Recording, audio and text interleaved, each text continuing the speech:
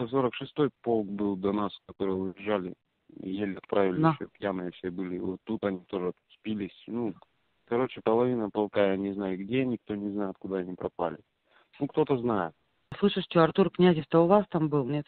Ну, чуть-чуть подальше, наверное, километра три от нас. так. Да? Не знаю, что Ольга Ражева с магазина говорит, что ему но- ноги, говорит, у него нет, в госпитале лежит. Может быть, У них, такое? да, у них были прилеты. Они танкисты. Вот, а мы ехали вместе сюда с ним. В поезде, в одном вагоне мы ехали. Но? С вагонов, когда высаживались, ждали машины.